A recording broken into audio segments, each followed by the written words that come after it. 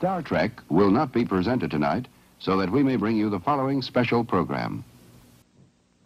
Now, a special program in living color on NBC.